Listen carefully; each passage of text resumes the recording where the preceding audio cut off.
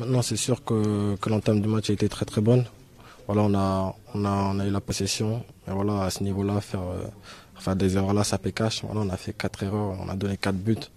Maintenant, voilà, on va, on va essayer de relever la tête et, se concentrer sur le match d'Amiens qui arrive. Bien sûr, bien sûr, on arrive à, comprendre tout ce qu'il dit. On a, on a le traducteur qui est là pour ça. Maintenant, euh, voilà, il y a des, des joueurs qui jouent pas leur poste, mais si le coach n'est à, à, cette position-là, comme moi je joue avançant, c'est qu'il croit en, nos qualités. Maintenant, ça, les résultats ne penchent pas à notre faveur. Voilà pourquoi il y a ces critiques-là. Mais je suis sûr que quand, quand on va gagner, les gens vont, vite oublier. Fond de jeu, je dirais pas ça comme ça parce que voilà, on a, des, bonnes bases. Maintenant, on est inquiétude, non, je dirais pas ça comme ça parce que voilà, c'est sûr que, pour certaines personnes, voilà, il y en a qui s'inquiètent parce que voilà, la victoire n'est pas encore là. Mais nous, voilà, on va, essayer de, de relever la tête et, et remporter le match qui arrive.